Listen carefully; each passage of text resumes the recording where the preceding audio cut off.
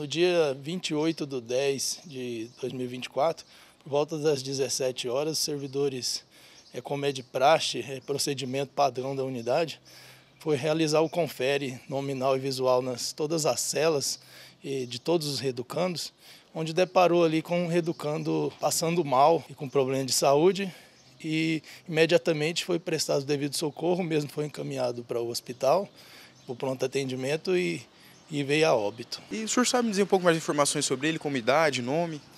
Ele é um senhor que residia na cidade de Alto Taquari. Nós não conseguimos contato com a família dele. É, segundo informação, ele é do, do Nordeste, não tem familiar.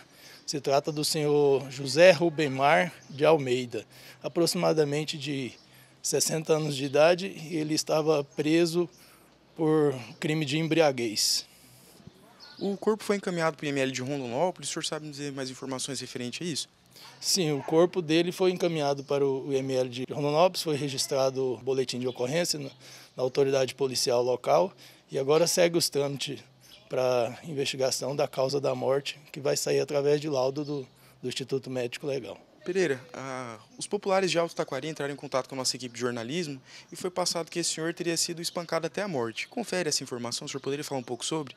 Até então, o que veio ao conhecimento da Polícia Penal, dos fatos, foi que o mesmo estava passando mal na cela. Os próprios reeducandos ali, companheiros de, de cela, ajudaram a retirar ele da cela para prestar o devido socorro.